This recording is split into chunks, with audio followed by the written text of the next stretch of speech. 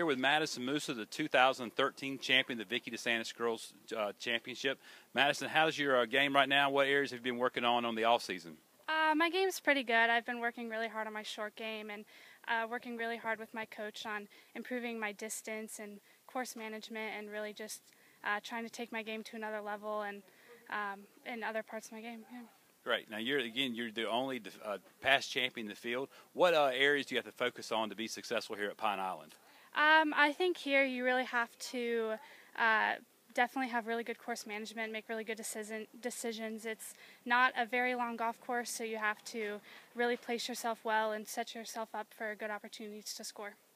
Well, best of luck this week, and we hope you play well and, and good luck. Thank you so much.